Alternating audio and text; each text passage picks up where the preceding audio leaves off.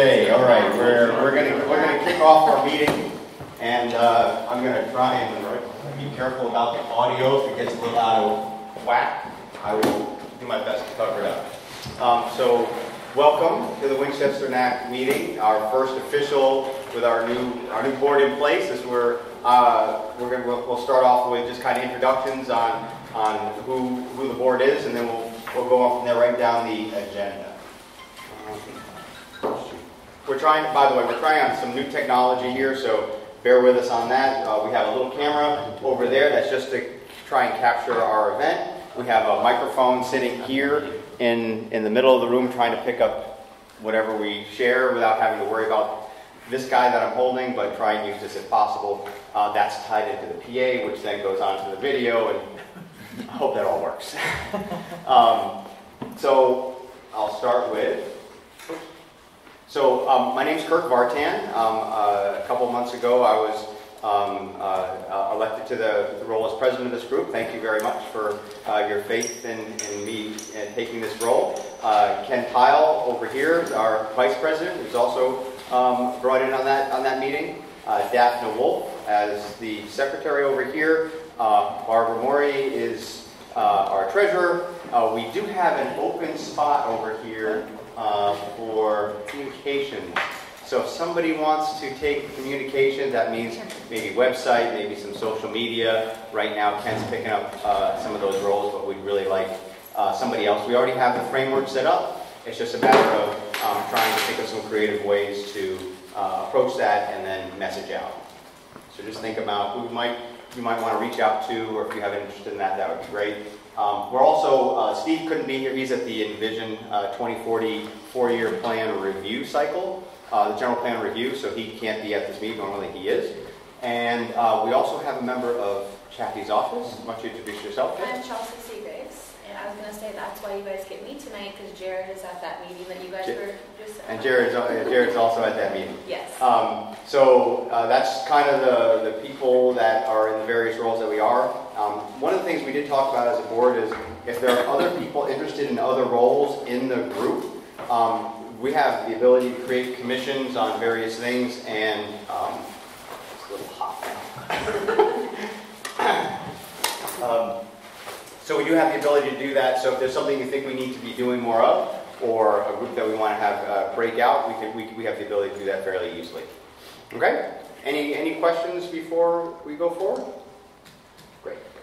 Uh, so we, we, what we're trying to do is, and I, I, probably should have started with calling the meeting to order, and I, and I, I should just, I'm trying to be trying to be a little more methodical about um, how we uh, approach this, so we get into the rhythm of things. So we're going to call the meeting to order, which I've started, I, started a little bit. Okay, I second that. Thank you.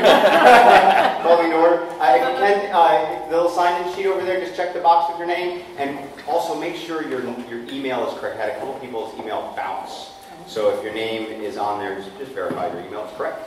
Um, so what we'll try and do every meeting is just uh, call me to order, just introduce the board, any public um, officials or, or guest speakers uh, that we want to make sure everyone knows who they are so they can uh, reach out to them.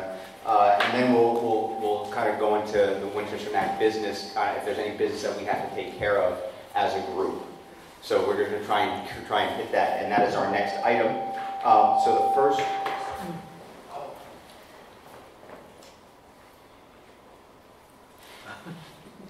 Do you want me to adjust it while you're... There we go. All right. Hopefully that's a little better.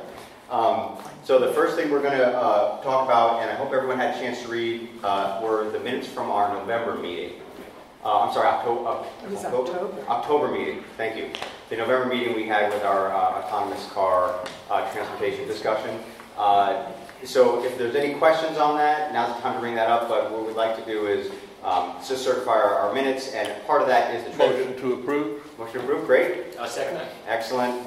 Uh, so uh, one of the things in there before we go beyond that, um, question? No? Uh, is in there, we, we included the treasurer report in there as a, we're trying to make that a, a routine thing because we don't have any cap grants this year, and maybe when we get that next year, um, we can break it out as a separate item because we'll have a little more activity. Um, but Barbara's going to be including that as part of our, our minutes, and that way it'll be included as, as an item we have for approval. Right now, I think there's 267. 200, 240. 200 There's a, a- a motion on the floor, you have a second, you have to Yes, finish yes, it. I have to finish it now? Okay, so, all right, so uh, all, all in favor of approving the minutes? Aye. Any opposed? Great, thank you. Um, uh, okay. Can you again say how much was 240, 57. 240, 57? 57. Thank you. That's the current balance? Yeah, unencumbered, yeah. So the uh, agenda that we had, I- if you had a chance to look at that, I don't have a copy of it right here. Um, I'm trying to save on printing, printing things. So we're going to try and do as much electronic, put it on the, it's on the website as well. You can always look at it that way. Um, But we have, uh, are there any items that are, were not on the agenda that anyone wants to add to the agenda to make sure we cover that? No? Great. Uh, Suggested modifications to bylaws is on, thank you, Ken. Yeah. Suggested modifications to the bylaws is on the uh, agenda here. We made a couple uh, suggestions. Uh, The, we left it as a highlighted.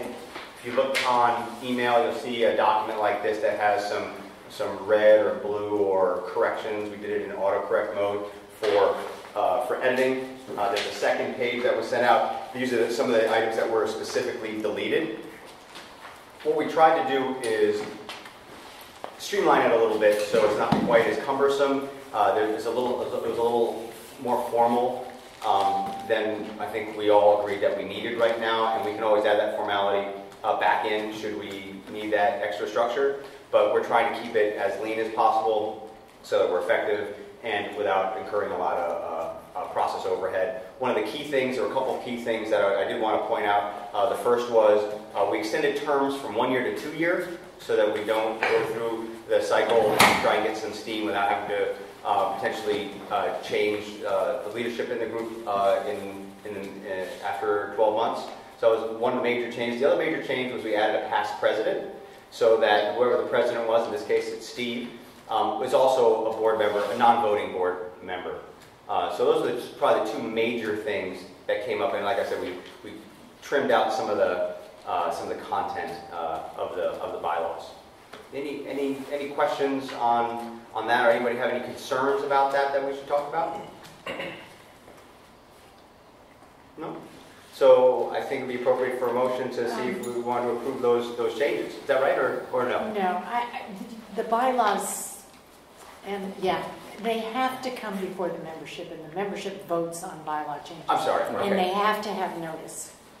Okay. So Which so is so, so we do this in for the next meeting? Is that would that be more Yeah. appropriate Right. for? So this would be like the first reading, I guess, or to make it available So, to. yeah. Okay. So that, that that's great. Thank you for for uh, process. So At the any wording not quite like that. Any, anytime we, something, we, we do something like that, if there's something that we're not quite uh, following a process on, please just jump right in. Uh, so thank you for correcting that, I appreciate that. So we'll, we'll bring that up in the next meeting, which is the 20th of January, Right. uh, and we'll, we'll have it for a final, you know, final review, and I'll, we'll, make- we'll make, mention that in the minutes, that uh, any additional comments, we have any time to do it. Right, And we'll have to make sure we put them on the website. yes. Yeah. What is It, it, it- it's not in there, and you have to have at least 30 days' notice. 30 days notice. That's a legal thing with Okay. bylaw changes. February. So are we, No, I think. I think we're 30 right days away. to the next one, because it's not the 20th yet. Yeah, you're It's okay. pretty close, but it's not yet. But that needs to be incorporated in here. Eh, But, so we need to add that to the bylaw, so that's something we need to add into that, that 30-day Just notice for change any, it, any right. bylaw changes or something like that. Yes. Okay, we will, we'll be sure of that, thank you, thank you for that. Uh, so that's end of, that's the end of the kind of official NAC business, you know, of that section. Anything else that you think we should bring up? I mean, this is, again, kind of routine stuff that we're just trying to make sure our processes are in place. We try not to spend a lot of time, I think, as a group on those things, but we do want to make sure that we hit that and have an opportunity to discuss that. Okay, great. So the next thing on here um, is the focus of the of, of, of the NAC, and um,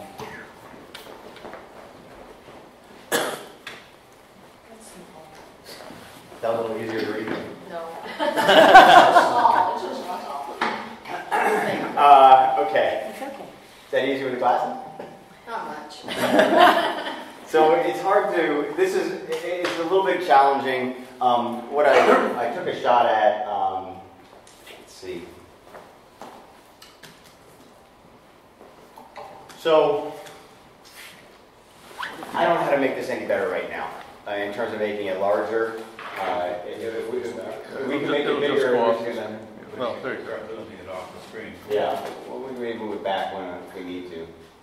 That easier to read? It's kind of hard to read that. Actually, it's easier when you move up. I'm gonna, I'm gonna take a shot at, at reading. I, I have, I have, a co- I have a, a, another slide of just the vision, so we'll come back to that. But just know this is something that we want to be able to um, have up, uh, available for people to understand why we're doing what we're doing. Because I think it's confusing, even for some of us.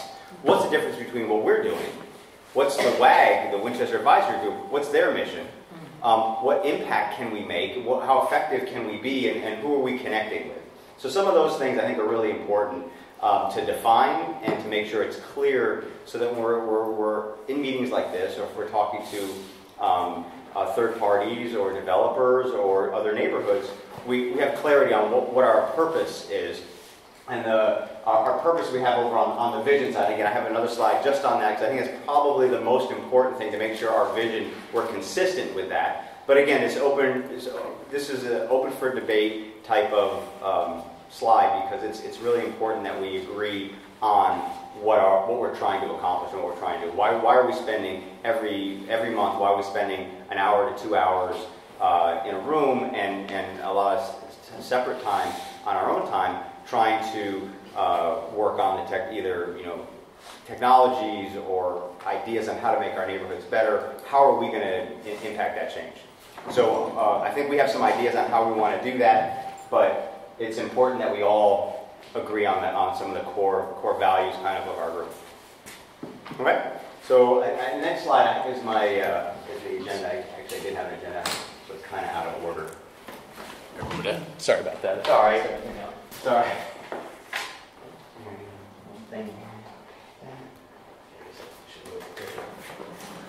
Right? All right. Hopefully it'll be a little bit easier going, going forward. So that, this is just kind of the, the agenda. This, I guess my slides are a little out of order. Sorry about that. Um, and again, the first part is this is kind of the business section, and then we have the, the bulk of our, our, our meeting, what we want to talk about down here, and then anything else we want to bring up. So, uh, here's our vision, here's our vision slide. That's a little easier to read. Yeah. Not quite as bad as an eye chart. Let me see. Okay. So establish a region that the cities of San Jose, Santa Clara, and Campbell recognize as a vital community for the future and worthy of coordinated and integrated planning to ensure economic and social success, and that the region should be developed as a model for, quote, what's possible utilizing architectural, social, and technical innovations. Um, to me, well, what resonates with me, and I, I want to open this up for everyone just to comment on, at least uh, if, you know, top of mind thoughts. To me, uh, the technical innovations is something that I hope our area really tends to try to focus on. How can technology help our situations and the struggles that we have right now? We're in Silicon Valley, we're in a high-tech area. Technology should be, in my opinion, should be a strong component in, in any of the um, solutions that we do uh, in any way that it can. Not, that it, not, not to do it just because it's technology, but how can it help us solve some of these problems? Um, so that, that, that's a, a, thing personal for me that I think is really important. There's a lot of other things that are also uh, equally or more important, but to me, technology is something that should be kind of expected of this area to embrace and to how, how can these technologies help solve some of our problems. So I, I'll, I'll just open up for a minute to just general discussion on, on that, on anything that's said in, in, the, in, that, in this vision slide. Yeah, yeah. Um, I agree with all this. I think that we've lost the part that we're Winchester in there somewhere.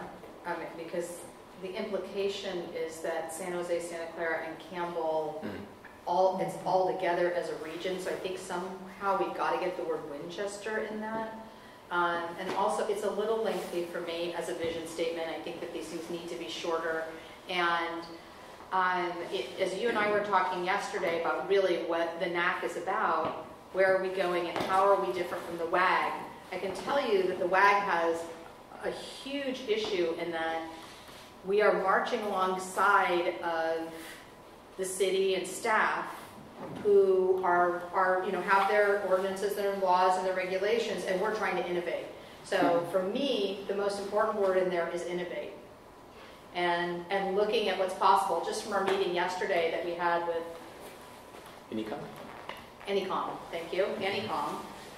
That's the kind of thing that um, I think that we need to be looking at and being able, be able to present to groups like the WAG, so that we're the people going out there and looking for the innovative possibi- possibilities and, and taking those to that group. Right now, I think that's our role as that group um, works. They're going to finish, and we're still going to be here. So Yeah. then we're going to morph again. Um, But right now, that innovation piece should be central, and because of that, I don't like the fact that it's on the bottom of the vision statement. I mean, how you guys feel about, about that? I, I, any other, any other thoughts? of, Uh, yeah, Pat? Well, uh, I think one of the points that Daphne made is that the WAG is, it's funded temporarily through the Metropolitan Transportation Commission. In a year, year and a half, it'll probably just, you know, go away. But this body will remain. Uh, You know, this body has, used to have a smaller sort of segment of Winchester. Uh, And, and now it's uh, crossed over the freeway and, and, and the Santa Clara side of things. and it- Well, embraced all up to of Steve- Winchester. Pardon me?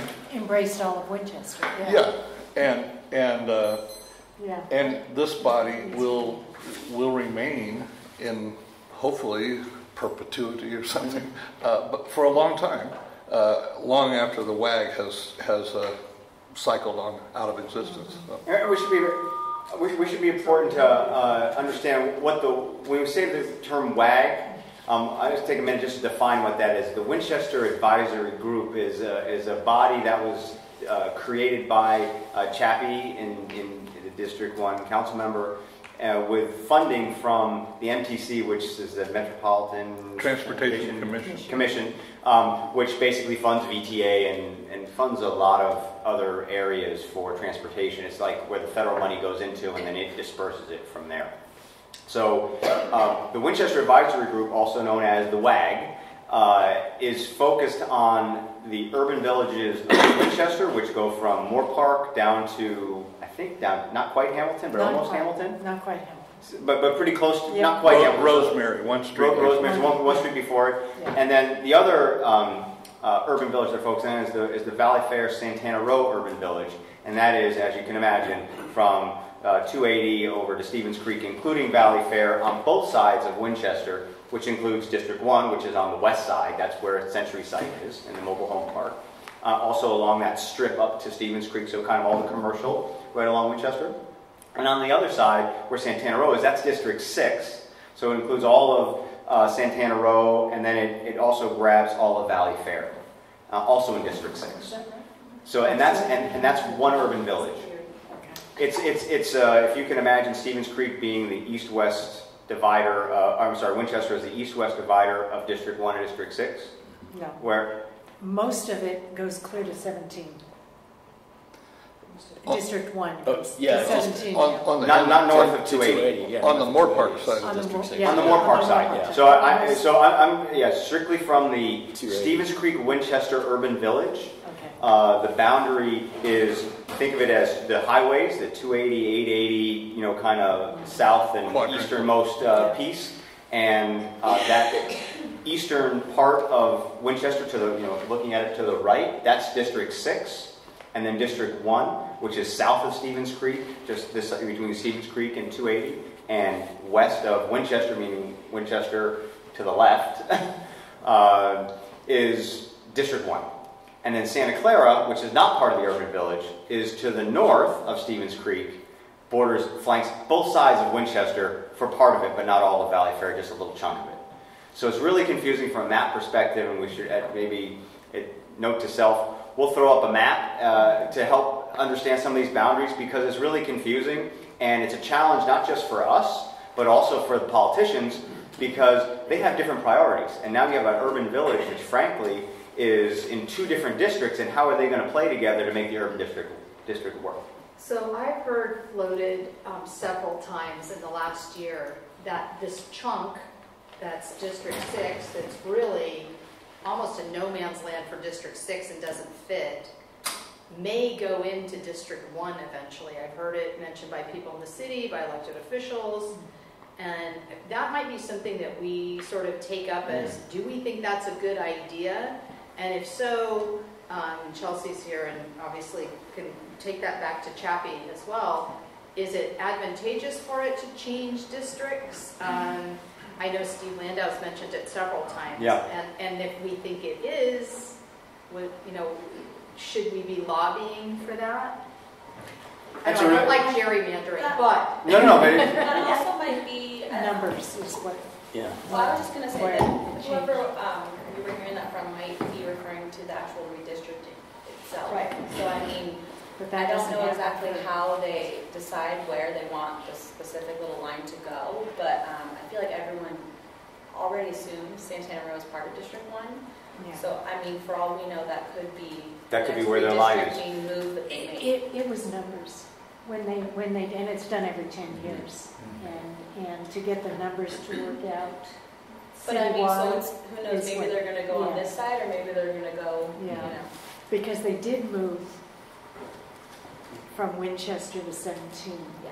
most of that corridor in Right, District we are in One. District Six. Right. So when you say numbers, do you mean head count, population? Yeah, because they have to Voters. equalize, it, right? Voters. Yeah. Is it voters or is it? Well, uh, well, maybe not voters, it's number of people, Yeah. capita. It's- it's- Because at the yeah. time, I think 90,000, they wanted 90,000 in each district. Right, And our population is increasing in the next 10 years, I don't know what, the what the number will be, but, you know, there was we're, a big move in. we know we're gonna have 975 apartments on one section, we're gonna have 600, uh, Yeah. you know.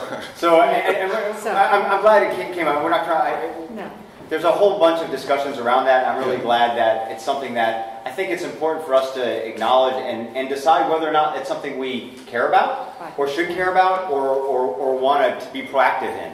Um, because part of me says, you know what, it should be one district if you're going to make have success. But at the same time, You get two If councilmen. if it's in You two get two districts, you have twice as much influence. Yeah, you get two councilmen. And you force them to work together because right now I don't really think they they do so much.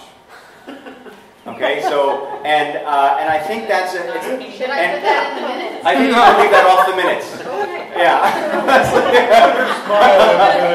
uh, although I, I- I haven't been silent about that comment before, I've been fairly vocal about it. I, I, I just don't. I, I don't think they're incented to work together, as it, they have their own resources. Well, you- I I don't, I don't think that's true. I think it varies, I mean, obviously, it's issue there was a- specific. Issue specific, but it's also, um, Pete was in, in office and mentored Pierluigi Oliverio for Yeah. a while. And so they did work very closely. And a lot of things they worked together. Pierluigi Oliverio is termed out. Right. And we have a new council person. So I think that can vary, uh, I gotcha. And I think that's a great opportunity over the next year. right. You have uh, you have a new D1 council member now, a new D6 council member in 12 months coming up, and there's an opportunity to really bond the, these two districts together. Whether or not it becomes one district later or whatever, we got to focus on what do we have now, what can we work with, and maybe that's an opportunity um, to really, you know, when we because we're the Cory neighborhood, which is what Art and I are part of, um, in District 6. We're going to be hosting one of the D6 uh, debates in, in our in our um, in our area. There, I think there's three of them. The D6 leadership has three debates, and we're going to be hosting one of those. And I think it'd be great if we could come up with some specifics that we want to make sure that these uh, potential They council people address, and, and what, what do they think their priorities are, and what, what, what, are, the, what are their focuses in, in District 6, and do they care? Yeah. Uh, I want to take us back. Uh, Okay. You were going to, you were explaining the WAG and a new term that we heard a lot on Monday night at the WAG, which we're all going to start hearing is the Tri-Valley, No, Tri-Village. Tri-Village Yeah. area. Tri-village area. So the Tri-village area, um, as you can imagine, is three villages. The Winchester Urban Village is one. That's the one that's south of 280. There's the Valley Fair Santana Row Urban Village, which is the one we just described. And then there's the Stevens Creek Urban Village, which, as you can imagine, is on Stevens Creek. Um, there's some challenges with this inherently because of the borders. Uh, just north, the north side of Stevens Creek is Santa Clara. The south side is District 1 or District 6, depending on which side of Winchester you're on. Yeah, So would this be all three Stevens Creek urban villages or just Stevens Creek East urban village? Because there are, Stevens Creek. I- I believe it's the just one eastern one. just the- it's the one that abuts Okay. Winchester, the one That's that's the only closest. Yeah, they're like. Because that's or getting the something. money for the, for the urban village planning process. The Okay. three, the three urban villages are splitting that money in order to develop their urban village plans. okay, and in case anybody doesn't know, the Stevens Creek East is from cities, uh, Big Five. I think it starts at Big Five and goes to Pep Boys over here. So almost to Saratoga. Almost to Saratoga. Not quite, like by Boynton or something like that. uh, Beyond Boynton, right there at Pep Boys. Well, it doesn't go all the way to Cupertino?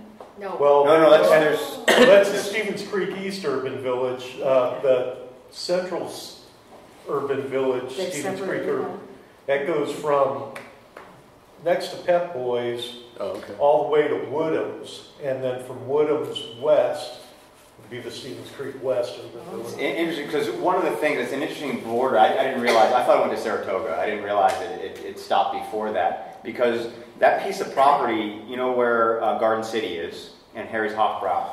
If you look at that, that, that, if you think of that as a big kind of uh, square there, there's an auto dealer right there on the corner of Saratoga and Stevens Creek, and then it- there used to be the Radio Shack along the front, there's an electric, some- whatever was right there before um, uh, uh, North Lake, or I think it's North Lake that's right there.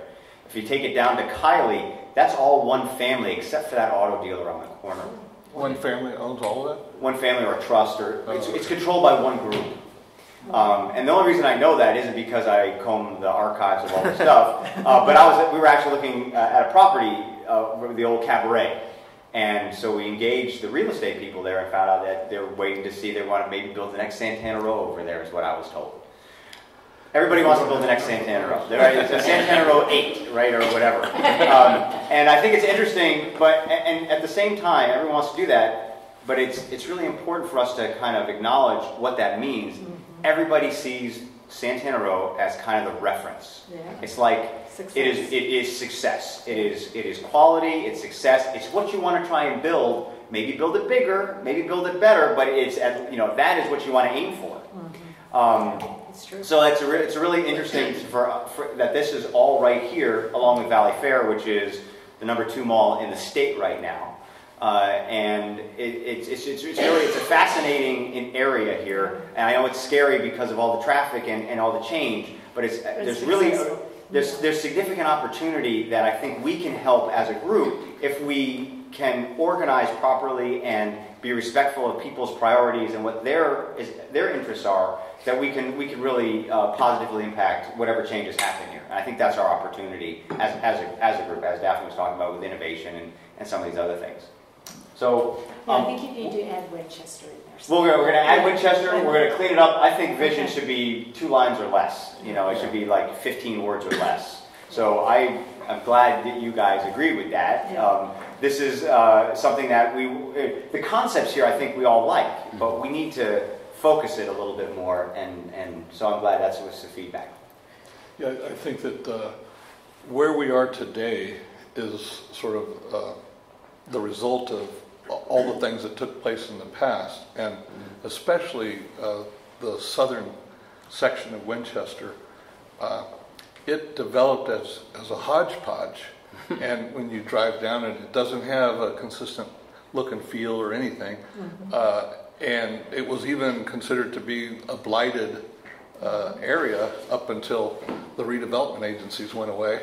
Uh, and so to me, this, this is really a, a very good concept to kind of give us, get us out of that Rodney Dangerfield, we can't get no respect. You know, this, this gives us some respect that the rest of the city uh, and the, the entities, that, the ones that we have to deal with, VTA, you know, because transportation and land use are, are two things that government seems to always split, but they really, we want them to think of it as, as a single thing. So I, I, I definitely am ready to vote on something like this. Okay. So, and, and I would say that um, I, I agree with all the points said that innovation is the key, and we're you know this WNAC region. And I think um, in addition to the local um, political leaders, we also should be talking to the um, our representatives in Congress and so forth, because there's money out there Yeah. that uh, you know, like in this new bill that was just passed, the Department of Transportation, I think it forwarded you. There's like a fifty million dollar thing for modern city, uh, sustainable city type stuff, right? There's a billion dollar fund that they have of the carbon tax, and that when I, we were leaving, um, I was talking to the professors from the autonomous car. I was asking them, "How would you use this money?" They had some ideas, and so I think there's things that we could do. Maybe it's a grant rewrite or whatever it is that we get some of this funded. So having people at the political level writing letters on our behalf or something and you know nudging it right could help Yeah. And, and, and. I don't know if anybody has any experience in grant writing or that type of, usually nonprofits really focus on, on grant writing, but other companies do as well. Uh, that's something that is very powerful to have at, in, in your group. And if anybody knows anybody in your neighborhoods, I mean, part of our strength is our ability to reach out. We have probably a dozen or more neighborhoods in our boundaries here, or you know, sub neighborhoods, maybe less of a, a formal ones. But there's a lot of people that, that are included in our area, and we should try and leverage that as much as possible. Nextdoor is a, is a great way. I mean, I know there's a lot of noise on Nextdoor, a lot of things that we don't want to see, um, but. If, if we use it as, a, as an effect, as, as, a, as an effective way to communicate, I think it's really powerful. That we've never really had as a society before. Is that that, that reach to each other um, effectively? Sure, Chris. Uh, In addition to what he said, one of the other resources that I think I'd like to see us tap into is uh, Carl Guardino, Silicon Valley Yeah. Leadership Group. He's now, I believe, the chair of the State uh, Transportation Commission. Really? Yes. And I went to high school with the guy. He, he went to Blackford Oh. right over here. Really? So, you know, he's got old ties to this Yeah. neighborhood, old ties to a lot of people that still live in the area, I'm sure. And uh, I'd like to actually, you know, with Daphne's blessings, try to set up an appointment Whatever you want. with, well, to have you, you and me and maybe him meet with Carl and discuss.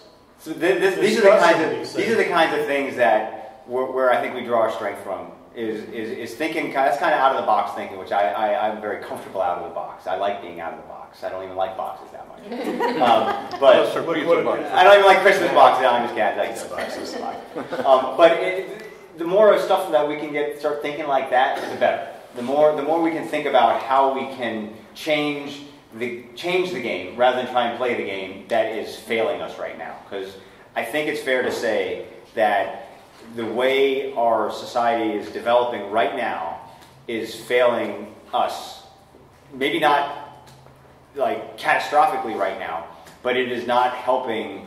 There's no trajectory that's that's that's getting us out of where we are right now. At least I, that's my opinion, and I, I I think there are plenty of options out there that can get us out of this. I just don't think our staff, our our our, our leaders either have the time or uh, ability to, to look at these things right now, given there are other pressures that they have and the other priorities they have. So I think it's incumbent on us to, to really help carry the water until they can until we can dump it in their bucket. But you know we can do a lot because we got a lot of ground forces. I think a big part of that is that problems that we're talking about, they're not going to affect our elected leaders like they're going to affect us as a residents directly.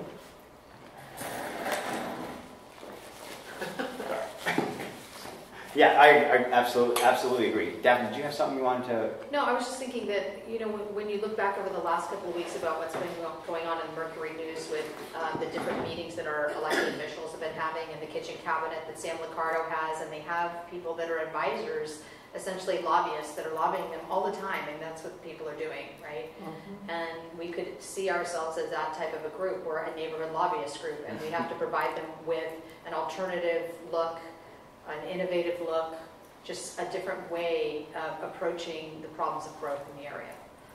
So it sounds like a lobbyist commission needs to be created. but I, that, that- I mean, that's, a, that's, a, that's an exciting idea that if we can, I mean, it requires work on our side, and the fact that you're here on a, on a Wednesday on a holiday, in a holiday season says a lot to your interest and dedication to that concept.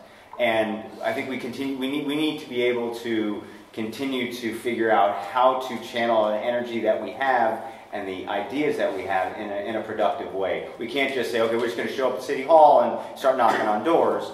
We need to be smart about our resources and our time.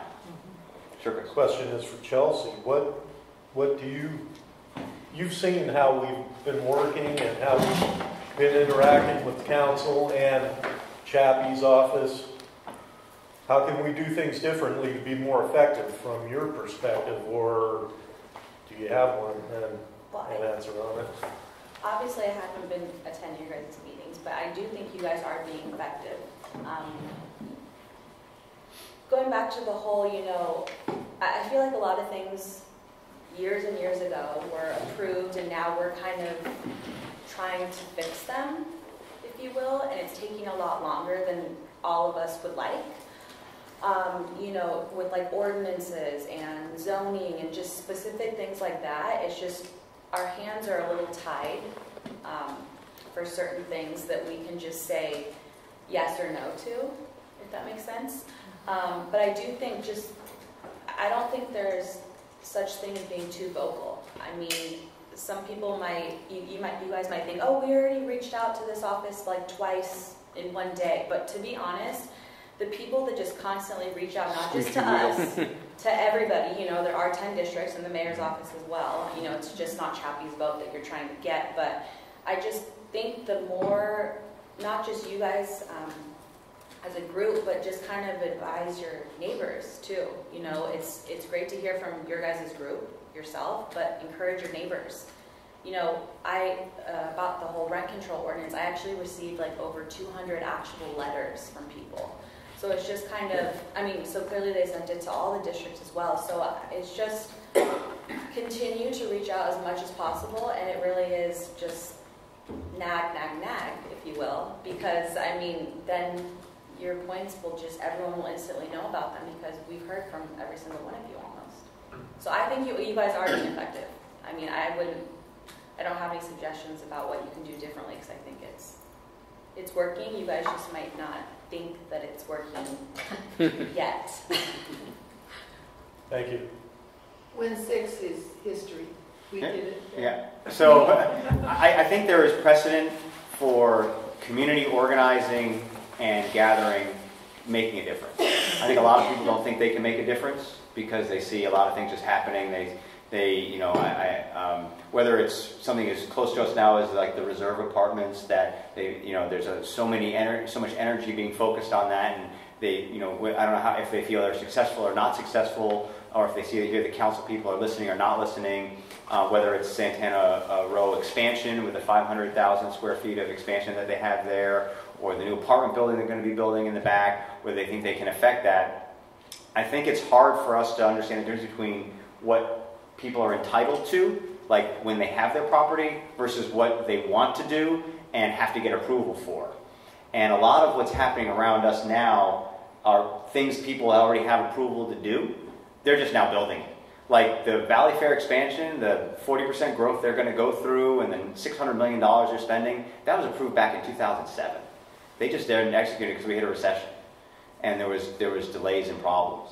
So they're now executing on a vision they had way back when, and they've actually modified it. Like the banks were never going to stay in the middle; they were going to go in the parking lot of Safeway. Safeway was going to get redone. There was going to be a second southern southbound lane on Winchester.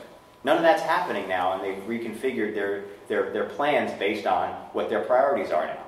So just because it's been planned one way doesn't mean it has to be built that way, given economic conditions, given what's happening in the area, given like for you know when they when they got that approved, that exchange, that interchange over on 880 hadn't happened, hadn't even planned, hadn't been funded, and they were going to. That was one of my comments to San Jose is or Santa Clara was, don't even allow that expansion until you fix the intersection over at Stevens Creek and 880 and 17. It's a joke. So you know, And I want to chime in on that. Not that you guys aren't, but it's really important. We've been encouraging everybody to really do their research because, you know, when you guys actually have a valid point of, you know, this is what is allowed here, this is what we would like to see here, um, instead of just saying, no, we don't want anything here, because like you're saying, I mean, things are already, the developers could just go in and develop what they're um, allowed to. So we're really encouraging people, you know, work with one another, do all your research, come with a valid, this is what we want to see, this is what's it's zoned for, this is what, you know, would work for our group, and um, kind of encouraging everybody to work with one another instead of just saying, no, we don't want to see change. So research is just really, really important. And again, not that you guys aren't doing your research, but we've just been encouraging everybody to really come to the table with the facts and kind of know what they're really asking. Yeah, definitely. You know something really interesting at the WAG on Monday, which I didn't know about entitlements? That at the, the planning explained this, and somebody correct me if I'm wrong, because this was kind of complicated. Um, That if um, a property owner leaves their property vacant and there's For no, six for six months, and there's no use on it, they are not necessarily entitled anymore because, because now the general plan and the urban village plan will now supersede their entitlement, mm-hmm. Their use. their use. Their right? use. Their So use. if So they it was could change, so if it's non-conformance- if, so if it's, yeah, not, yeah, so if it was commercial and it stopped being commercial and it just sat vacant for six months, and the urban village plan now says that that's residential, then they're gonna have to put residential there. Yeah, or conversely, if it's a Could be the commercial other way- spot. I- what? No, no, but I think to your point, I mean, I think they'd love to build residential right now. But I mean, what, what happens, what's happened, I think, in one property, I don't remember which one it was, there's a commercial space with a residential structure on it. And that if that res- res- residential structure is taken down, um, they can't necessarily rebuild it because that residential structure had kind of grandfather rights to that, for that non-conforming use. And the general plan now is in place after the fact, and so if that now goes away, they no longer have the ability to uh, just kind of build a bigger house necessarily. It- It's, it's, it's more complicated than that, so it's not as straightforward as we might think. Um, so, welcome, Chappie. So, for those of you who don't recognize Chappie Jones, he's our uh, D1 uh, council member. Hello. Um, uh, so, I, I think it's the, the, the biggest thing I, that I heard out, out of what Chelsea was saying, which I, I really, really appreciate hearing, is the collaborative nature of what you're asking for, which is work with each other. And when I say each other, I mean developers and neighbors, not just neighbors. And um, what can we do to solve the problem or to create a solution that respects the developer needs, the community needs, and the public needs? How can we keep those all in check uh, and respect everybody's priorities and not just cater to one or the other? Because that's not a winning solution. So, and I think that I think that I think that's what you're, you were trying to get at. Because I, I, Yes. I, I, I believe that as well, and I think a lot of us here believe. But I think she also said that they need input. And, and, and to reach out to your council members. That's right, Yeah. exactly, exactly. With In numbers, Yes, all of all of the council members. Yes. With facts right, and information and a message. in numbers. And number. Uh, To that point, Chappie, uh, do you feel that uh, the onus is mostly on you and you wished that there was uh, more outreach from our area to all the council members? Or, Most definitely. Um, I, I think there's, a- there's an impression that if the, if a project's in a certain council member's district, if he's for or against it, then it's a done deal that the other council members are gonna go along. uh-huh, And I haven't seen that to be the case. I mean, like minor things like a liquor license and, you know, at a liquor store, most people will defer to the council. But big citywide, you know, policy issues like urban villages and developments along, you know, corridors like Winchester, uh, the council members are gonna make their decision based on how they view the viability of the project.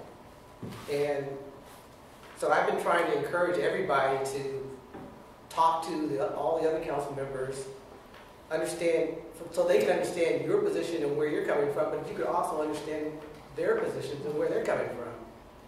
And then try to come to some type of compromise or, or reconciliation.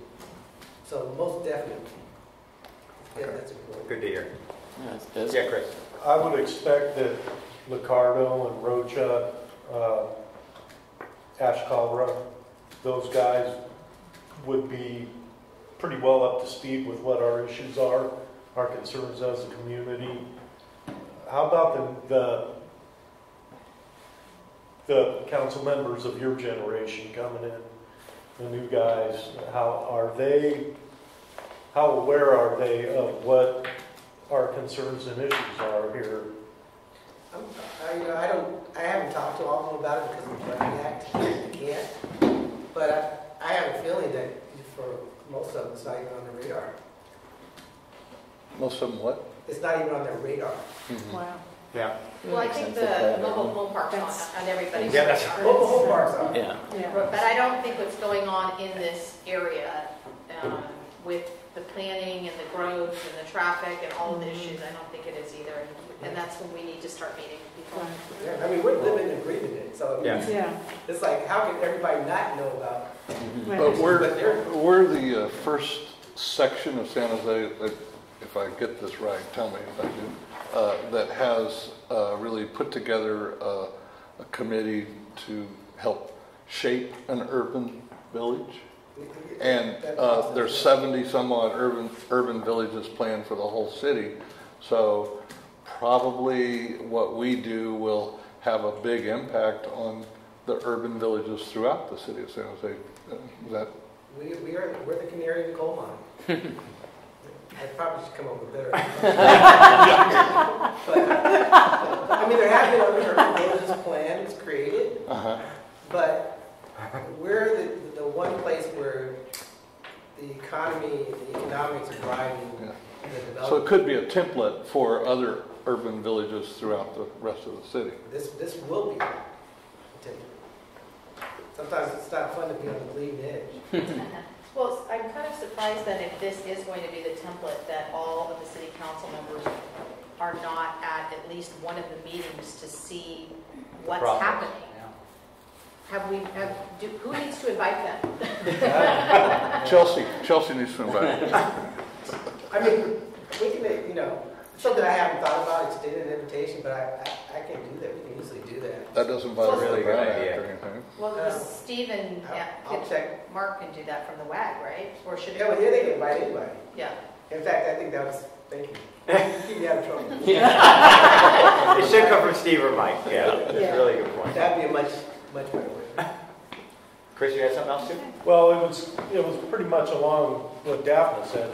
How do we get all these council members in one meeting with us so that, you know, strictly talking about these Winchester corridor, Valley Fair, Santana Row, urban village issues and bring them up to speed on how, you know, we want to live as a canary in the coal mine, you know, we don't want to be choking on our own Yeah. Well, I don't, know. that would be a That, violation yeah, that would Brown Act. totally violate the Brown. Yeah, yeah, Brown we- Act. we- You guys more than welcome to invite them. We- and, we would have to- it would have to be agenda item on the council, same yeah. But, they you can't all know, you guys Yeah. can invite them and you can let them know, oh, so-and-so's already confirmed. And they can make sure, oh, I'm not in their Brown Act, perfect, I'll attend that too. Yeah, You guys can invite them as many times as you want. yeah. So I, I- think just to follow up on it, it's not just the council members. I don't think the city staff that was presenting to us is really in tune with our area. So I, I, I- of course, I'm concerned at the policy level that we all have on the same page. But I think at the staff level, I don't think everyone's on the same page at the staff level um, uh, on, on our issues. Or, or even some of the things that we're even talking about, like some of the autonomous things that Ken has brought up. I was a little concerned when I heard someone say, well, that's probably 35, 40 years in the future. I was a staff member on the planning commission or on the planning uh, group, you know, or planning staff. And, and, that, and that, that concerns me that if our planners are, are thinking that it's that far out that they're not, you know what I mean? So They're not ha- involved. ha- we, we, want, we, want to, we want them to be successful. We want us to be successful. So we want to help in any way we can with more feet on the street kind of thing. We want to be effective. We don't want to be counterproductive. and we just want to partner as, as best as we can in, in, in, in the way that we think is effective from you know, innovation, technology, whatever we can start to get the feelers out for and bring them to the city. Or, or whatever is appropriate. Or, you know, maybe you have come up with a presentation, maybe we have it at, you know, we, we present to the WAG and the WAG can present to staff or something like that. You're gonna, we're, we're gonna have to fight this battle on multiple fronts. Mm-hmm. So you're right, you know, working with the city staff, the planning, planning department, working with VTA, working with the uh, transportation department, working with, you know, I mean, all the different elements that, that come in, come into play, that we're gonna have to educate, inform, and motivate to, to go along with our vision. But it's, we gotta cover all the bases. Yeah.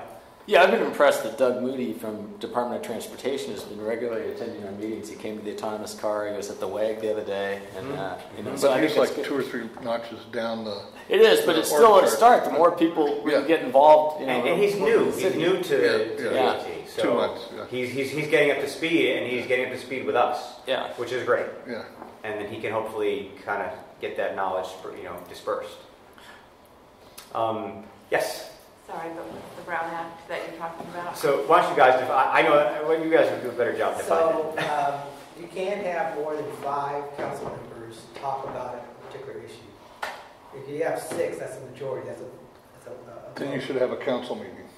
Yeah, exactly. So there, there's a state law that says that you can't have a majority of, of the council participate in any discussions on an issue before the, the vote, the actual vote takes place. That includes school boards, I'm on the Parks Commission, it's the same for any public entity, you just can't have a majority in a room unless it's an official meeting. So even if you're just participating, even if it's you know you're Can't listening do to a it. presentation, you can't. Well, if it's a presentation where there's a lot of policy, policy type of discussions, particularly if it's a presentation where you're trying to influence them Yeah, oh, on okay, I see. different point of view, then, then you gotta get that murky. This is one of those things where Yeah, if you have like serial meetings, uh, one after, that, you can't do that either. that, that also violates the Brown Act. It's serial But it's one of those things where, you know, if it, it might not be wrong, but if it's gray, Mhm. just, Stay away. it's just not right. You know, So is that, I'm trying to keep you guys out of the murky. Yeah. Yeah, that's, that's, it's a good point. does that somehow limit information sharing though? I mean. Information amongst public uh, public officials at specific meetings. That's my understanding. Is you can't have, like in San Jose. There's there's ten council members plus a mayor, so you can't have more than five. In Santa Clara, there's seven, so you can't have more than three. If you have four, that's a majority. Here, five, six is a majority. so can- outside of official meetings. outside of official meetings. So if we're if we have a, a meeting here to talk about uh, traffic light signalization, we want to talk about why we should change to you know uh, you know black lights instead of red lights, whatever. Um, we couldn't have six council members in this room while we talk about it. Is that is that a fair statement? Thank you. Yeah, and, I- and there's probably a lot of other details that I'm not aware of. that you- There, there are a lot of. We just gotta be sensitive with- Noticing requirements, if you're gonna have a meeting, you have to have seven days' notice, it's gotta be published at City Hall. Lot, lot, lot of different, uh, Yeah, it's a, uh, I give you a specific example. We uh, actually had uh, some homeless advocates uh, show a movie Exodus from the Jungle. And so they wanted to come to City Hall and, and have the council members watch this, this movie. And we couldn't have more than five council members in the room watching that movie at one time. So that kind of tells you, Even though it's just a movie. you know, Yeah. this movie. But we knew That's they would also kind of chime in here Yeah, and okay. there, and that's what we were worried about. Yeah. So can, can you, so just to follow up on that, can you have five people in one and then next week show the movie again and show five more people? Yes. That's okay. And can some of those five people be the same of the original five? Mm, Uh, yeah, as long as you don't, um, no, no.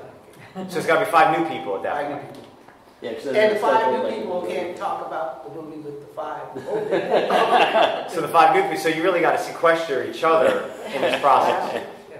Good luck keeping all that straight. um, so I want to I want to keep us on I want to keep us on track because one of the things that uh, we want to get out of this meeting tonight is to talk about future topics in the upcoming in the upcoming uh, months.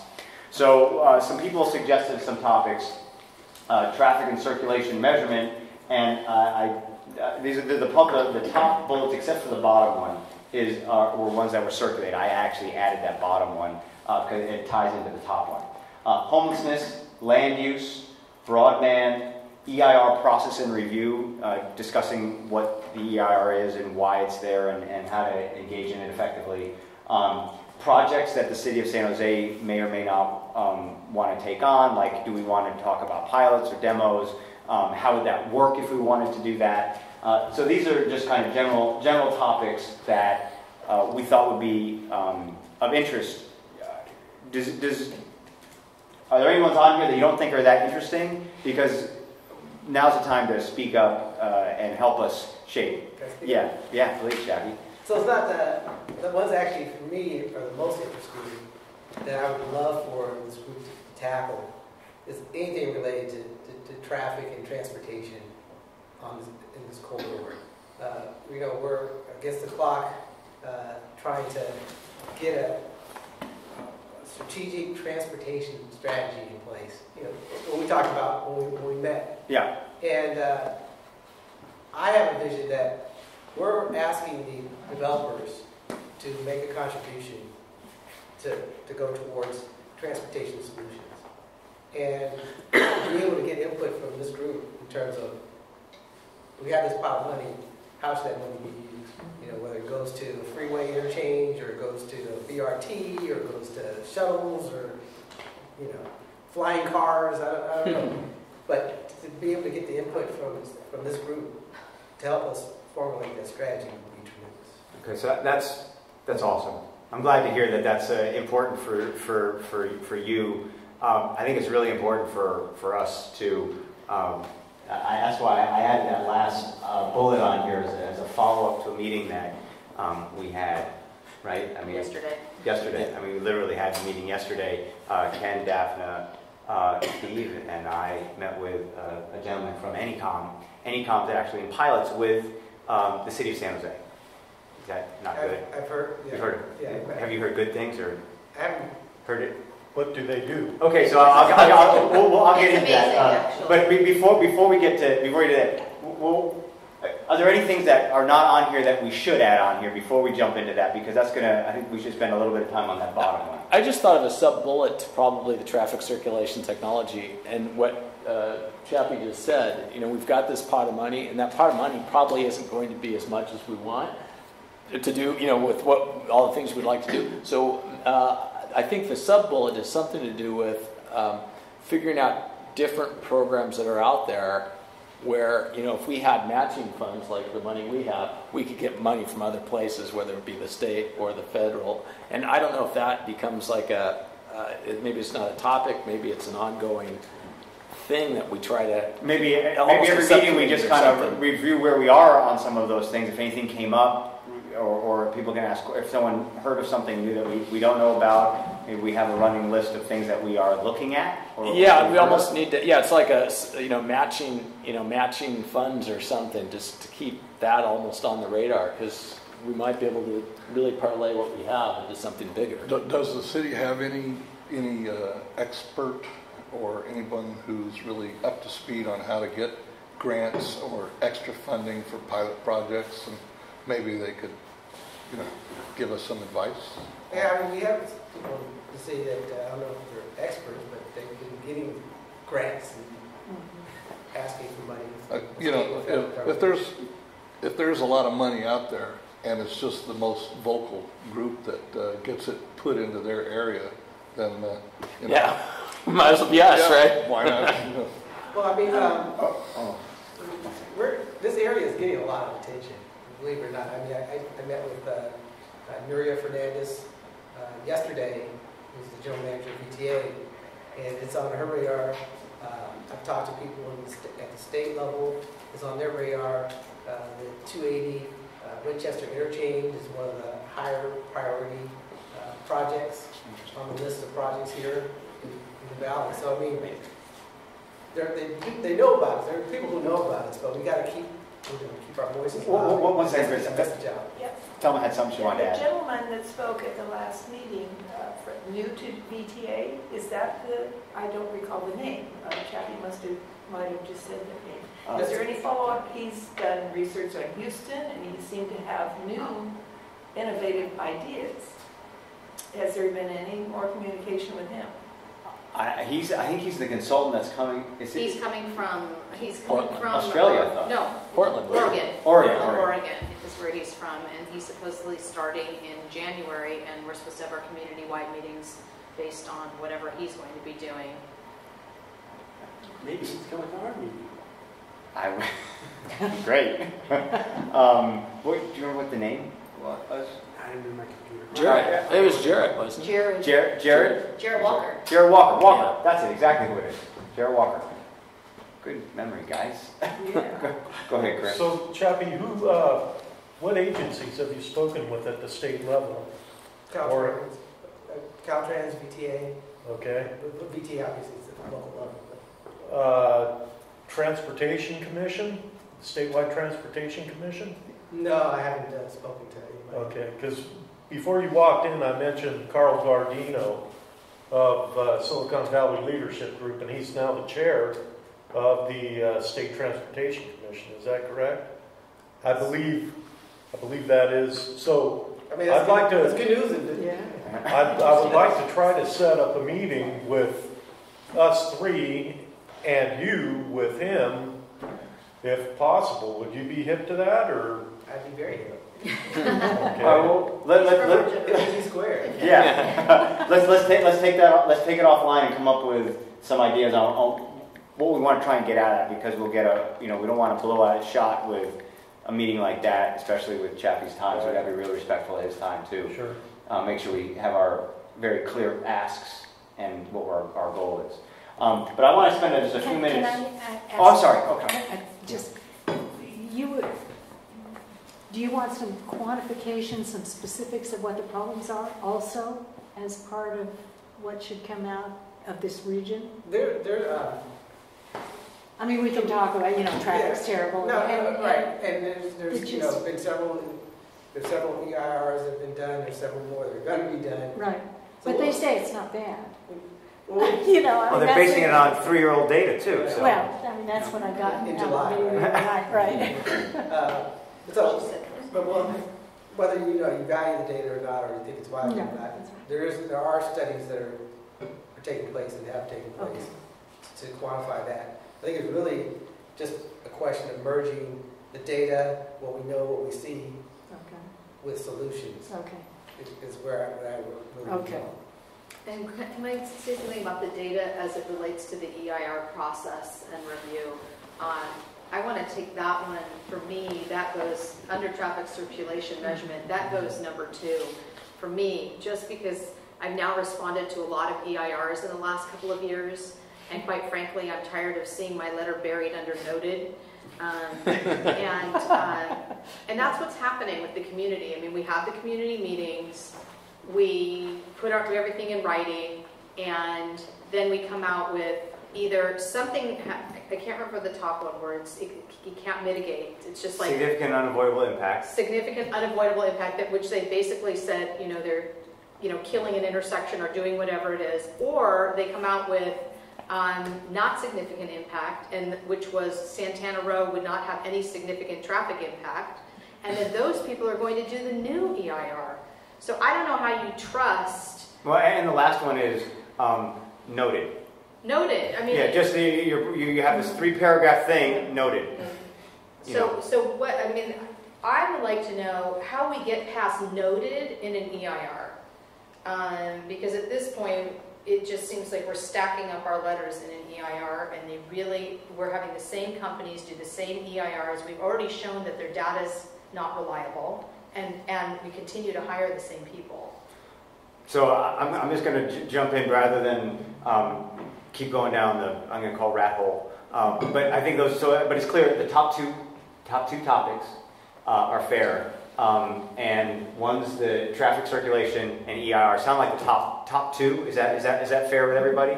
We comfortable with those two? No, I don't, the term is not rat hole, it's parking lot. Parking lot. we're parking it. So park, we're going to park that one. Sorry, we're going to park that one right now. We're parked. uh, which we need more of, by the way. And the Um, land use would be right next to those two, right? Because, like Pat said, traffic circulation and land use are, Right, traffic Uh, circulation, interwoven. yeah, traffic circulation, land use, and um, The, so let's just jump right into the last bullet point, which is uh, a technology co- uh, idea. Um, Anycom is a company that uh, has a lot of intellectual property around routing tables and uh, uh, taking different networks and, and merging them together and getting things out. What they've done is they've created a platform that installs on top of a, of a light post. So they call them the, the Cobra style, the ones that kind of look like that. Uh, those light poles, they're now, you see a lot of them are LEDs, the real bright white lights, not, the, not that amber light anymore. Uh, those LEDs are being, there's, a, there's an RFP out in San Jose to replace all of them uh, in the city. Uh, there's about 64,000 uh, uh, of these light heads that are being replaced. Uh, I guess about 20,000 of them have already been done. Like a significant number have been done, or 23,000 have been done. Um, But not on the west side, not in District One. say again? Not on the west side. Not well, not no. What I'm saying is, just but throw that in there. it- just just in general. Down Winchester's been done. I mean, you look at down Winchester specifically. A lot of lights have been changed on Winchester. Um, but what Anycom does is they, the, on top of each of these light heads is a little photo cell which tells it when it gets dark. So it turns them on or off or it dims them or, or, or these kind of things. What they do is they take that photo cell off and they stick a box on top of it about the size of uh, an iPad, a little bit thicker. And uh, that device has uh, uh, various wireless networks built into it. Uh, cell networks, so you know, various carriers can actually use that to offload their tower uh, concerns and, and capacity issues. It's got Wi-Fi, next generation Wi-Fi in there, so you can actually have high high speed data for uh, consumers like us, uh, professionals, city, and various levels of, of quality of service and, and different things uh, on on that. But it also allows you to have um, uh, it's got cameras. It's got four HD cameras, eight megapixel cameras on each 90 degree point. So there's there's four of them that sit there. They look each way down the street, and you look across the street and behind it. So it's also got four HD mics, so in the same directions. Now these are all think of these as these are all you can turn them on or off. They're available to be used or not to be used. Um, but the concept is is they come in and they replace these light things on every single pole. So down your street, down every public street, down any where there's one of these light poles, you can actually have this type of new. Think of it as, a, as, as, a, as a new kind of network layer. So it's a new it's, a, it's it's infrastructure. It's not just a camera. It's not just a wireless thing. It's the next generation type of infrastructure. It's like cable. It's like deploying cable or de- deploying deploying natural gas infrastructure throughout a city. But you're deploying a wireless uh, network throughout the city and it's a very robust one, and we're talking very high capacity, probably you know an order of magnitude more than what we have now from a capacity. Uh, and it can connect to fiber connections that are on the streets and, and allow you to have uh, various ways to connect to other services. But the interesting thing here is if you think of what can be done, one of the things that they're piloting, they're piloting this around the Shark Tank right now. I think there's 64 of these devices that are going to be installed around the Shark Tank. And they're looking at um, uh, creating a wireless network for, for that area. But what they're not doing is they're not looking at how to look at traffic circulation on that area, which it can do. So these things can pick up, and the, the ability for accuracy is, he says, at 150 feet, which is about how far uh, a pole is away from each other, um, at, at its, usually at its maximum, if it's consistent, it's about two inches. So it can pick up license plates even. So if there's an Amber Alert, for example, citywide, it can, you know, potentially pick that up at, an aggregate as a data perspective. So without getting really technical in the technology that's in there, just think of it as a wireless kind of uh, blanket over the city that we can now ta- tap into for services. So those services could be internet access, it could be video access, but it could also be traffic management um, analysis. So if we're talking about doing traffic analysis, we could do literally real-time traffic analysis um, every every moment of the day. And if you th- think about it kind of one step further, not only do we get EIR data like for these developments, we can have an ongoing database that's open to the public to actually analyze and see what's going on here. But we can actually, if you think about where it could go, we could have it tied into the traffic light system so that as traffic needs to flow faster or more effectively in certain areas, it can dynamically change it. Right now, it's fairly regimented. You have the busy hours are from 4 to 7, and the traffic light changes its, its cycle at specific times. Very rigid. They don't update those things very often. It might be annually, it might be every two years, it might be every six months, but it's not very regular. So if you think about if you can have the traffic light system, so you're not sitting at a red light for 45 seconds when there's nobody going and at, at 2 in the morning, whatever it is, it can help circulation. So we might be able to increase capacity on our streets without actually growing our lanes. And we heard at the WAG about a road diet. Road diet means you're taking lanes away so you can make it more pedestrian friendly. How can you do that and still keep our automobile traffic going and flowing? This might be a way to answer that question. It's possible. So, what we're actively investigating right now, and now with Chappie's, I mean, you, it was like a layup right now that you gave us. You know, I mean, I mean, it's, it's, yeah, it was, it was, it was, it was, it was great that that is something that's a priority for you, for us to look at. I think this flows very nicely into that request uh, in terms of the type of technology, and that's not the only technology, but that's a technology that might help us with circulation. And uh, circulation is something that's is, is our biggest challenge right now is how do we circulate as people, as vehicles, and, and how do we how do we come together? Chris? Well, my, you know, my notion is that the current managers in the traffic department at the city, I don't think that's in their, in their mindset to incorporate technologies like that.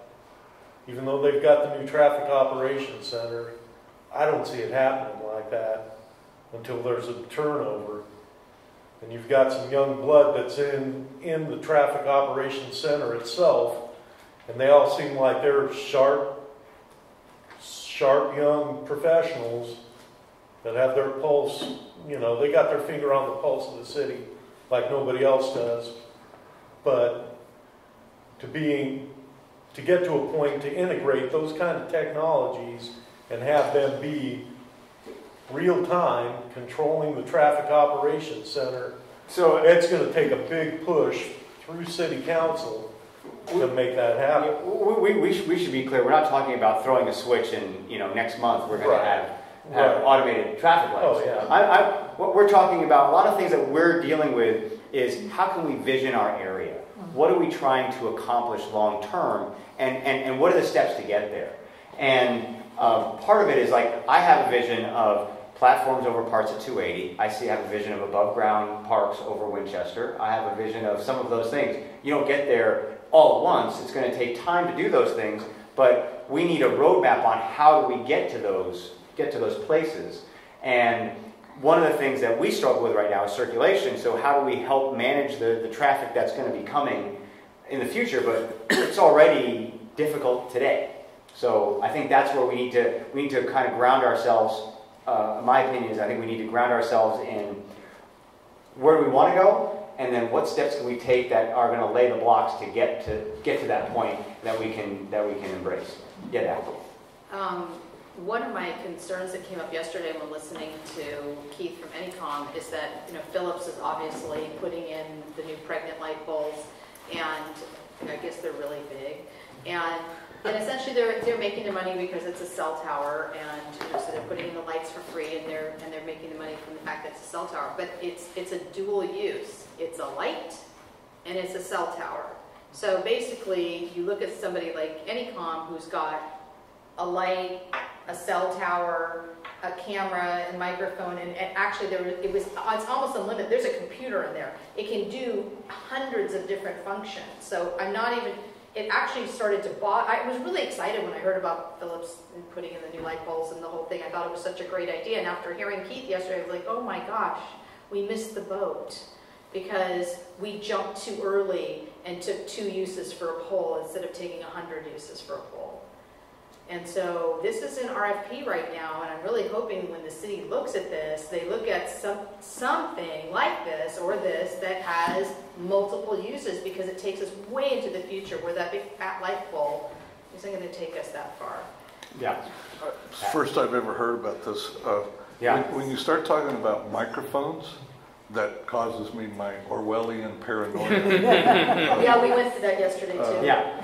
So, You can uh, turn that stuff off. yeah, yeah, right, you know. Yeah, but who can- Not like Snapchat off, but, you know. Yeah. I mean, you know, of course, you can always think about the, the great uses of a microphone for shot spotters and stuff like that. But, you know, there's Or still the, the, I don't know, is it the First Amendment or whatever, you know, the right to privacy, uh, that I, I, I just don't think I, I could buy anything like that if, if, uh, if it came with microphones, you know. So I, I think that's a, a good, good, good, good point to have from a discussion about the technology. And I think that's really important because a lot of what Anycom said they're working on right now is around policy. It's not technology, it's around policy with government. Now Sacramento's embraced it, different cities. All, all the rest of the things you mentioned sounded great, you know, uh, like Wi-Fi throughout the city, uh, like a, a Wi-Fi cloud, so to speak, or whatever. Uh, that, that, that sounds fabulous. And cell signals that never drop because there's, wherever there's a street light, that would be, that would be wonderful. Uh, Right, It's that- just, just a microphone. It's all about the policy, and it does come from the Mm-hmm. privacy issue. And Sacramento's already got a very tight policy, and the city of San Jose, it turns out they don't. They don't have much of a policy of, of anything that deals with this. And Well, um, it would but probably what- well, well, break, break a law somewhere. I don't know. Well, so here, here, here's the thing. What San Jose has done is they have, uh, what it appears is they have gone through an RFP to do a quick justification to replace all the light poles with cost savings. So over a seven-year period, you get a payback because LEDs take up less energy than uh, the, the whatever they whatever the lights are that are in there now. Um, so there's a payback, a seven-year payback, and it was a really quick financial accounting decision rather than a visionary decision on what to do with these assets in the field. And what we're talking about, or what we were talking about with Anycom yesterday, was how do you turn these things, these pieces of infrastructure, into assets that will mature and create a new platform to build on, rather than just looking at it as a financial return for a city um, for a light trade out, or make a deal with Philips to give you, you know, whatever. That, that, that's where that's where a lot of this conversation, and I think it's important to have that conversation because I think there's a lot of people who are going to have concerns about privacy, and a lot of concerns around uh, video or microphones or, or any of those things. And I think it's a, I think it's it's a really really important discussion because we're we're going to have to make some hard decisions on what we're comfortable with and what we're not comfortable with, and how what some of the solutions are to, to, to fix that. Yeah, I mean, I just every day we're going to have this, right? We're going to have more and more cop cars probably with microphones, and they're going to have cameras and cops, stuff. right? And cops yeah, they're going to have thing stuff, and, in a sense, you could argue. But I mean, these discussions, as things go autonomous, uh, it's going to. I don't know. Yeah. So I just have something. I like that. also, think- I do want homelessness to stay up there somewhere. Say again? because, You know, it's, a- it's a, it's definitely a, a problem for me. ho- ho- homelessness, you said? I, I don't want that Yes. bullet Oh, to drop to the bottom, Well- uh, somewhere, uh, near the top, uh, It's gonna stay. It's gonna. It's gonna stay on here. I mean, these. We're trying to come up with a half a dozen or less topics that we want to make sure. We want to allow some flexibility in case we hear something new that we can get a speaker in or something like that. But we want to try and have some goals of what we want to cover um, over the next 12 months or, Okay. or six to 12 months or something like that. Um, okay. Well, I want to move to uh, kind of updates and ideas section. Um, so the WAG, we already talked about the WAG, uh, and we got a pretty good update. Do we need do we need to talk about that anymore? Does anybody have any more questions about? I mean, there's a lot. I you could Just- spend hours on the WAG. Just, uh, Mayor Liccardo will be at the next WAG meeting, and I had suggested everybody attend. You should always attend because Chappie's there. Um, You can always corner them. WAG stands for Winchester Advisory Group. Winchester Advisory. So it's okay to. So uh, who's going to be there next? month? uh, Mayor Ricardo. Mayor Liccardo. Oh, there you Yeah. go. Gotcha. Um, oops. Um, Oh, yeah. Na- Neighborhood associations are, um, there are a lot of neighborhood associations that have their, uh, either, it's quarterly, Cory has a quarterly meeting, um, Lona has a, it's every other month? You know, we five a year. Five a year, okay. Um, so, eh, anything that anyone wants to bring up, the neighborhood meetings that are coming up? What's that- the content of your meetings? It sounds like yours are more educational than anything. They're, As much. they're, they're both. We always have speakers. There's a lot of educational, but we also need time for discussion. If we can't, sometimes we have a lot of speakers. I know Cory did it at their last meeting too. They had a lot of speakers, so it's, you know, sometimes when you do that, it's hard to get the, but we always ask the neighbors to bring up any new business and things that are, you know, that, that they want to talk about. But I think primarily we've been that an educational arm. And when we need to get people rallied to go to meetings, it's a great place to make contact. Um, So And your next meeting, I think you have Don Wheaton coming. I have don't you? John which I, that's, that's big, and I'd love to get as many people, actually staff in the city and city council members, five, um, to come to, to hear Don, because he's so valuable, he's really a futurist, um, planning in our area, and really talks about, um, the models, the actual number models of who's going to be living here and what we're going to need in the next 15, 20, 30 years. Really important for us. He's, he, if you haven't heard him, he's a mind changer. Uh, Ken just was able to chunk up the video that we had back in, I'm not sure, October, October, I think. October-ish. Um, he spoke at um, uh, one of the Win Six meetings that we had over at the church, and uh, he, we, the videos. It's about a nine. He, he, he gave the long version. I asked for the long version, so he gave us a 90-minute version. Um, so it's like 75 to 90 minutes, and it's divided up into about 22 segments. So you can click on one that interests you. You can just kind of click on the first, and it'll just kind of run through all of them. Really fascinating. It's very fast-paced. So um, expect slide changes very, very rapidly. He talks quickly.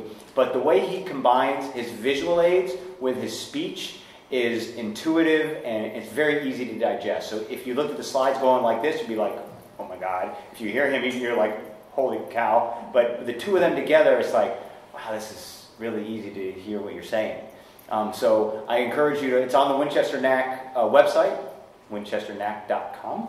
Um, and you can go, you can go watch that. Um, next month, uh, he'll be here at the WONA meeting. We're going to bring him in probably in February to a NAC meeting. He'll be one of our, we'll, we'll do the, probably the 30 minute presentation, or maybe 40 minutes. I might squeeze you guys a little bit longer because he's so, he's such an interactive guy. Um, so he'll be here probably two months in a row. Uh, when's the, um, January 25th, we actually moved our meeting. okay, January 25th? Monday, January 25th. So January 25th is, is the WONA one, so I encourage you to go to that one. Um, and then probably the one, our meeting in February, which I'm not sure what day in February it is. We haven't talked, we haven't set the agenda, so that's just, I'm hypothesizing right now. But I'd like to uh, be able to get him, uh, not the same month as WONA, but the, the month after. Okay? Um, any other neighborhood updates? We, we mentioned that Cory is going to be hosting uh, a D6 council member debate in March. Haven't set up yet. Okay? Whenever, whenever, we're one of the three. There's three of them, so we're one of the three. We'll keep you posted on that. I just Yep. wanted to ask, uh, does any, do any of the neighborhoods uh, do a Christmas tree uh, Oh, purchase? Any- Anything like, any any of the We, neighborhoods? we do- did. I volunteered my truck and brought 14 for the Cory neighborhood. You did great. The Cory neighborhood has one every year. You you do? Okay. Well, You you need had, trees. Well, no, we, Why, do you have extra?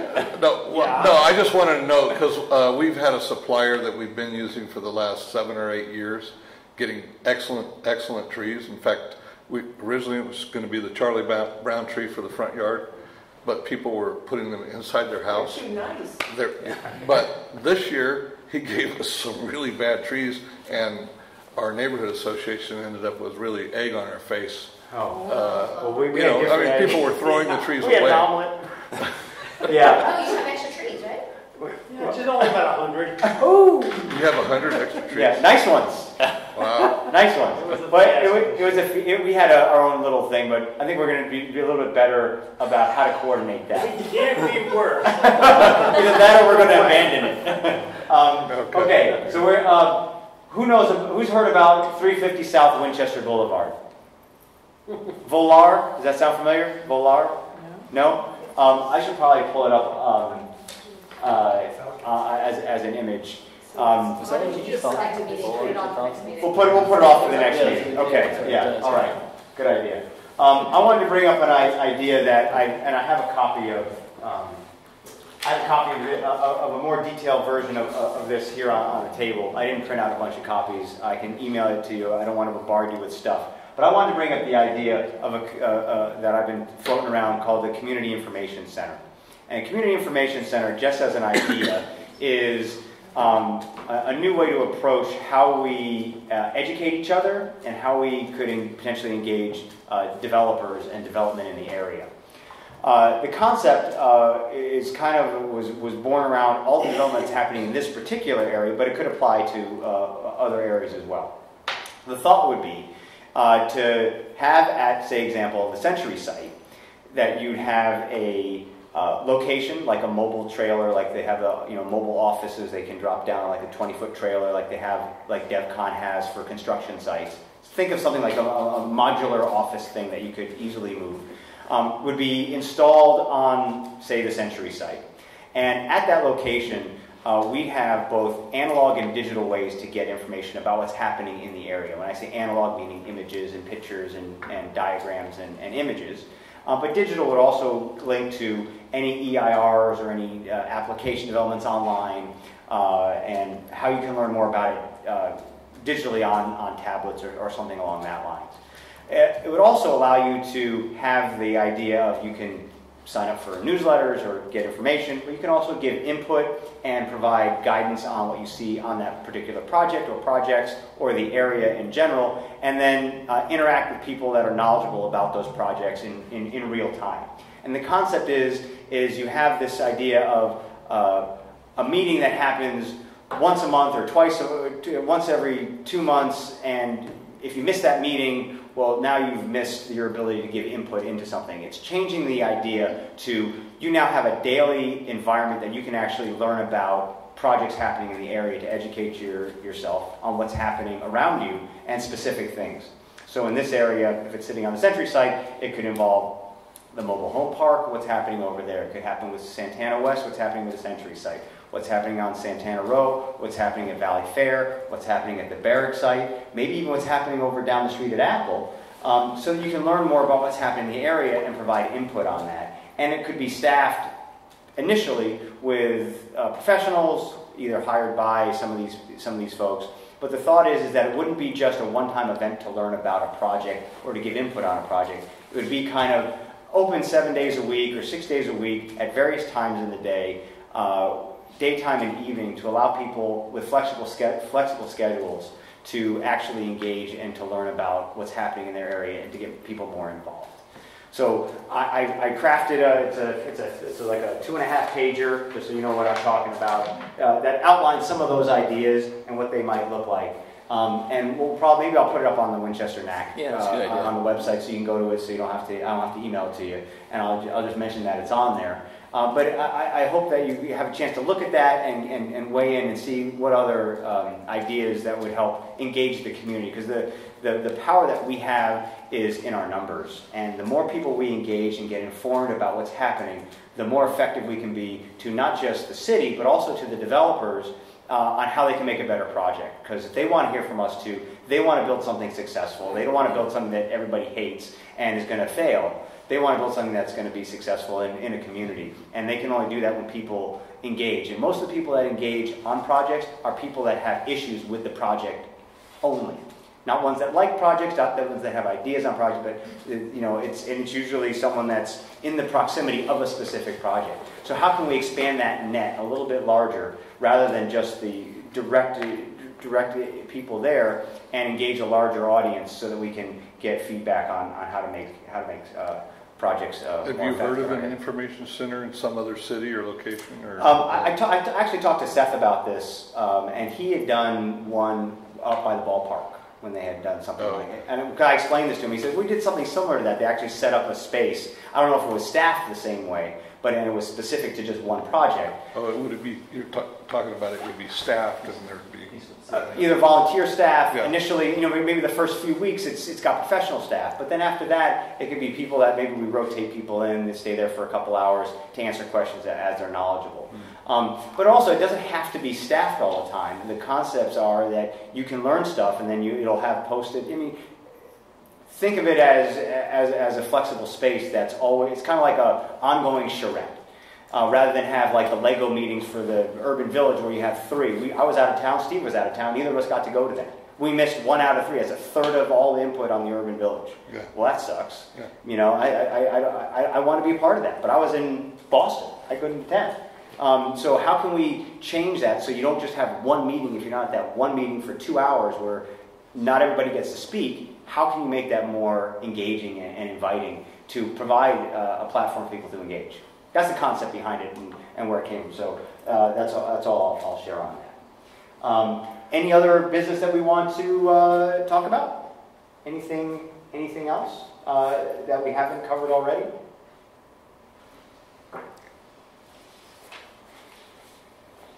Next meeting is January 20th. Now, I'm not going to close the meeting just yet, because that's an official action I have on our agenda.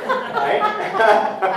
I'm not going to close it. Um, I, well, is there anything else that um, we wanted, that we, that we either covered tonight, or that just want to just kind of open up for a roundtable, uh, a general discussion? Because as far as I've seen, we've covered everything on our agenda. Thank you very much for letting us get through that uh, and uh, hitting all the topics. But um, what else? What else do we want to share? Well, we got Chat Chappie's ear right now, right?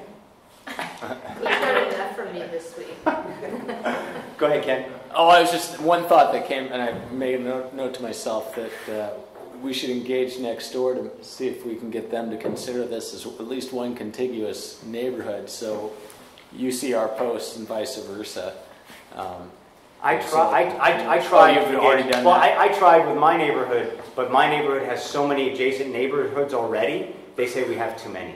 Actually, you need to talk to Steve Landau and to Bill Cope about that. They've had multiple discussions with Nextdoor. Yeah, and I met with Nextdoor before too, um, over here.